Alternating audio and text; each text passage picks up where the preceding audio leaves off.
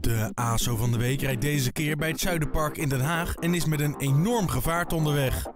Op deze kruising hebben fietsers voorrang, maar het bord dat dit aangeeft ziet de trucker volledig over het hoofd. De fietser wijkt uit en redt hier waarschijnlijk zijn leven mee. De bestuurder heeft duidelijk niet in de gaten dat een vrachtwagen als deze al snel een dodelijk wapen wordt.